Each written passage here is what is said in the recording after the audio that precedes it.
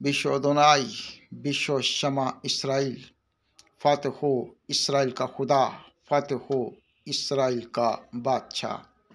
शालुम अलैखम आज तीन पॉइंट हैं जिस पर मैं बयानियाँ जारी कर रहा हूँ, वो बयानियाँ जो यशवा का बयानिया होगा। पहला पॉइंट, ख़ास गज़ा की लड़ाई के बारे में और दूसरा सलीब के बारे में जो तसलीसी लोग क्रास का निशान लगाते हैं, चर्चों में, गलों में पहनते हैं उसके बारे में।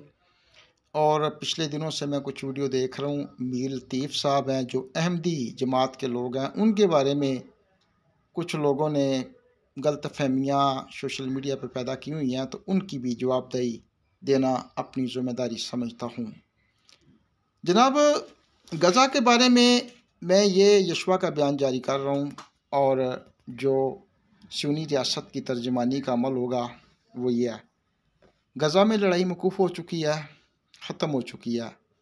और दूसरा प्रोसेस वहाँ पर जब शुरू होने वाला है, ईद के बाद शुरू होगा, जो तमीरी का प्रोग्राम जो पहले से डिसाइडेड था, ख़ास फ़लस्तियों की, जो उनकी रियासत है, उसके लिए हर चीज़ को सही तरीके से बनाकर उनके हवाले वो रियासत की जाएगी। ये इसका मैंने शॉर्ट टर्म में जवाब दे दिया।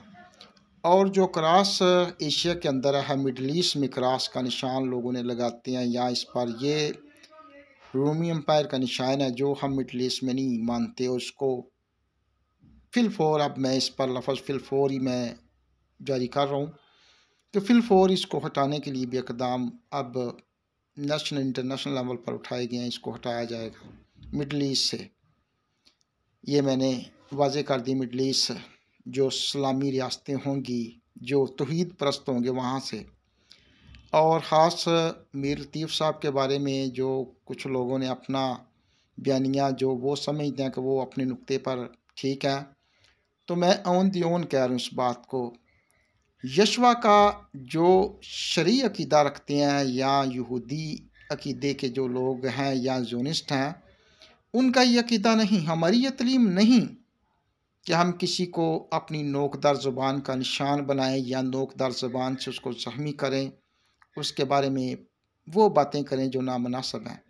अब मसला क्या है? मसला ये है जनाब, ये जो एक बट्टी साहब उठे हुए हैं, क्या नाम है उनको? है तो वो कोई हरामी बट्टी, मुझे तो वो बट्टी नहीं लगता, कोई पता नहीं क्या है वो, ठीक है?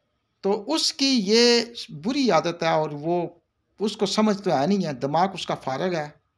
उस हरामी को ये नहीं पता कि ये जो किताबों की वो जिलतें बयान करता है, ये तो खतूत हैं।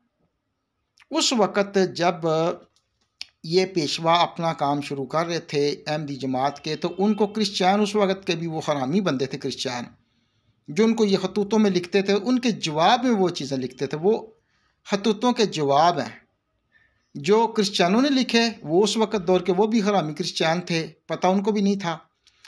तो इस सारे किदे के साथ हमारा योस्टों का जो अहल शरीत जिनके पास बाप दादा से शरीत मौजूद है जिनसे खुदा पाक ने रूबरू बातें की, हमारा इसके साथ कोई तलक नहीं है।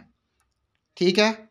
ये जितने भी पाकिस्तान में लगे हुए ये काम कर रहे हैं, हमारे कहने पे नहीं लगे हुए। हम तो उनको मना करते हैं कि किसी की ज़ातियात पर वार ना करो और ये जो बंदा ना, ये जोजो भट्टी ये वाजब अलकतल है। आज भी मारा जाएगा, कल भी और परसों भी। ये मैं बता रहा हूँ, क्योंकि उसकी हरकतें ऐसी हैं, उसके काम ऐसे हैं। क्योंकि वो हर एक जो किसी जमात का पेशवा है, उस पर कीचड़ उछालता है, क्योंकि इसकी माँ एजिबल भी ऐसे ही करती थी। आमीन, सुम, आमीन।